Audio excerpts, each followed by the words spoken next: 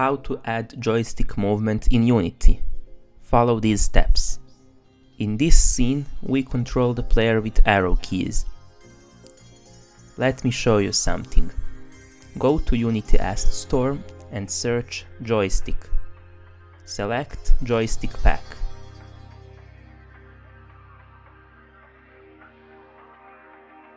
Open in Unity. Now download the pack and import it.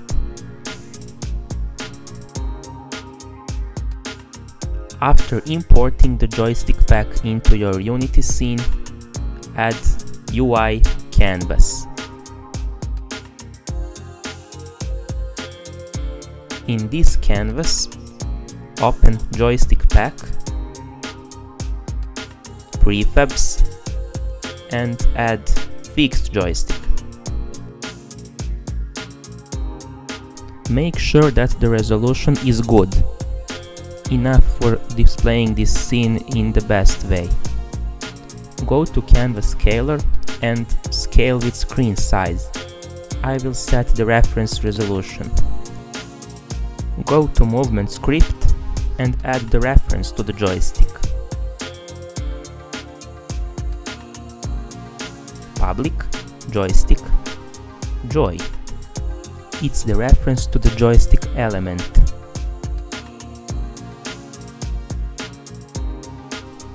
Float, joy horizontal move, which is the horizontal axis of the joystick. Joy, horizontal, multiplied with speed. Do the same with the vertical move, but joy vertical. Now add the vector 3, joy movement, which is the move direction of the joystick.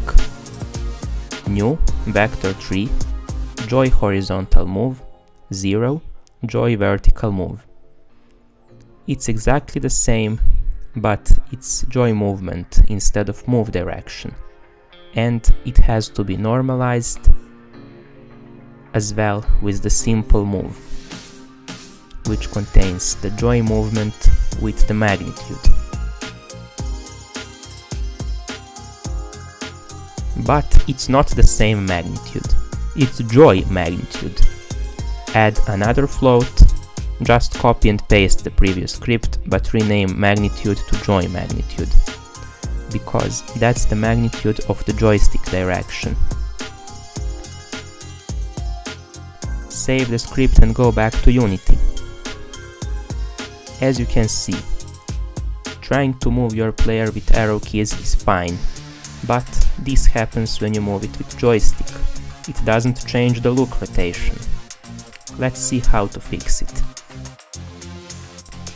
Copy the script that says move direction isn't equal to vector tree 0 and change it to joy movement.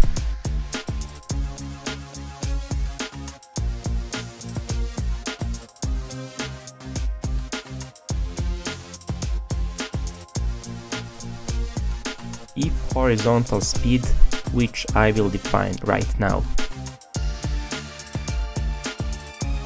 Float horizontal speed equals 0f is larger or equal to 0.2, which is the value of the joystick. Joy horizontal move is equal to the move speed of the character. Else, if horizontal speed is less or equal than negative 0.2, then the horizontal move is equal to negative speed. Else the horizontal move, the horizontal speed is 0f. Do the same with the vertical move. Just copy paste and change horizontal to vertical.